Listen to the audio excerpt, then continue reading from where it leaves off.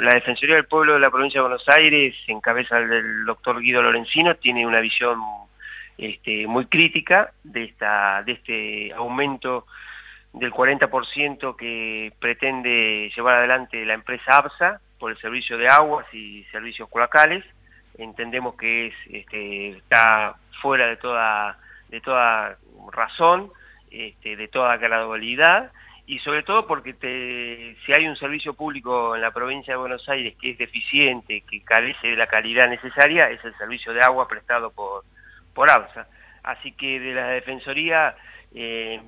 intentamos este, que esta audiencia no se llevara adelante porque entendemos que en primer lugar no se tiene que aplicar ningún, ningún aumento porque no se está prestando un servicio de calidad este, adecuada para los vecinos de para los vecinos bonaerenses.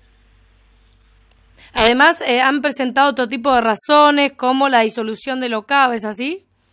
Exactamente. Nosotros entendemos que a, través de la del último cambio en la ley de ministerios de la provincia de Buenos Aires, hubo cambios, valga la redundancia, importantes en la estructura este, administrativa y vemos que los consumidores, los vecinos no están eh, debidamente representados en estos organismos de, control y creemos que son fundamentales a la, a la hora de poder fijar estas, estas políticas.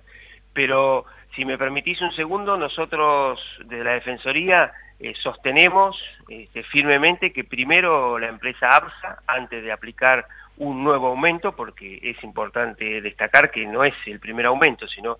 eh, venimos ya de, varios aumentos en el servicio del agua, antes de aplicar uno nuevo, primero tiene que realizar las inversiones necesarias. Este, tiene que buscar los fondos, tiene que buscar capitalizarse de otra manera. Eh, nosotros creemos que hoy por hoy la provincia de Buenos Aires este, ha recuperado eh, importantes montos de coparticipación y creemos que eh, esos montos, una parte tiene que ir destinada a, sanear y a poner a, la empresa APSA este, en una situación mucho mejor que la que se encuentra en la actualidad y después